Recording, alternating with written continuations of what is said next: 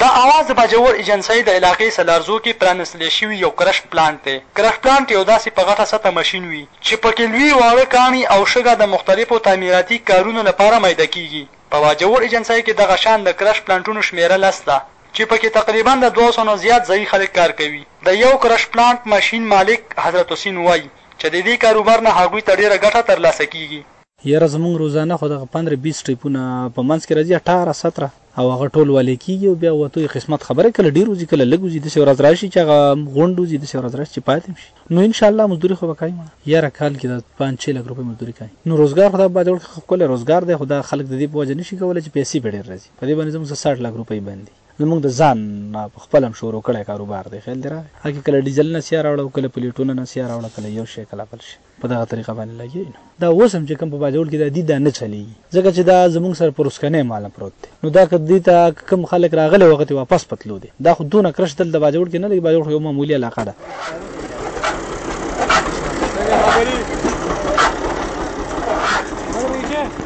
نه صرف حضرت حسین د دې کرش پلانټ نه فایده ترلاسه کوي بلکې ورسره ورسره شل نور مزدوران هم په کار لګیا دي چې پکې یو مکرم خان دی چې په بنیادي توګه د دیر سره تعلق لري خو ولې اوس د څه مودې راهسې د باجوړ په پجه سیمه کې آباد دی. د کراش پلان د مزدورۍ په هکله خپل خيالات دا رنګ لري. راځي دلته دا څه کور هم تم لنډ دی او څه بهر به ځو بيا بهر چې به کلاچۍ ته لاړ شي يا پېښور ته لاړ شي بس نو مساپر شو پسې او دغه يو شان د ديالي ده نو مثال کې شپې له کور ته ځو او د ورځې راځو دلته کار تنها لس زره کور پکې بس او ګزاره کېږي نو په لس زره خو هيڅ نه کېږي خو بس ګزاره غرتې کوو نو څه دا کوو څه قرض کوو څه څه وشو بس دغه خپل ګزاره کوو. خوشحال هم پکې نۀ وو او خمپه هم پکې نۀ وو دې مطلب چې دا ځای لنډ دی که نه. سره د دې مزدورانو په دې کرش پلان کې نور خلک هم په کار اخته دي چې پکې د سلازو د سيمې اوسېدونکی احسان الله هم دی چې د دې کرش پلانټ چوکيداري کوي. ماشين سټارټ که کنه. ما دواړوه ما دواړوه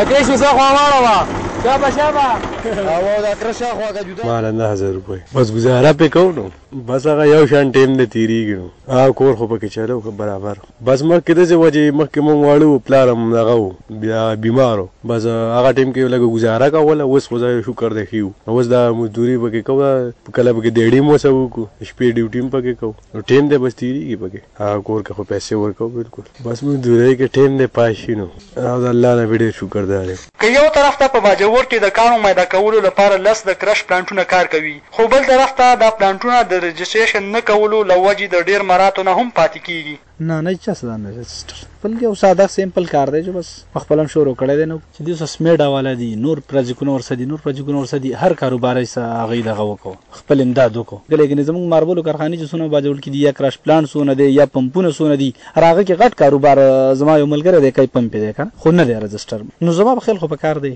ځکه چې په په کار ځکه دی چې زموږ حکومت ته پاته وي چې دې کسانو دونه پیسې لګولي دونه کاروبار شروع کړی آیا دونه وخت وشو دا ولې تاوان لاړی یا ولې ګټې له لاړه کنه نو یار ان شاء الله را روانو ورځو ته مو ته امید شته چې سیټ شي.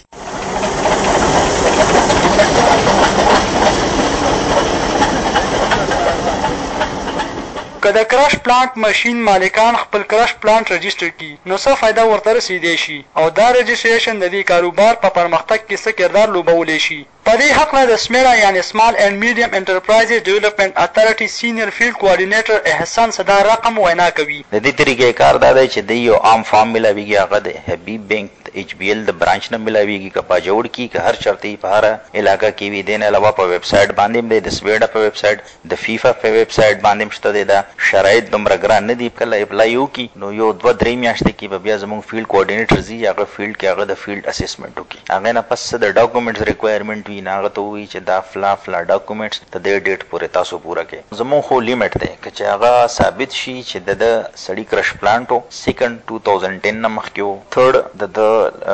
سره تري امپلای کرایټیریا باندې پوره کیږي ده ته موږ پچیس لاک روپۍ ورکوو یارکیف نه علاوه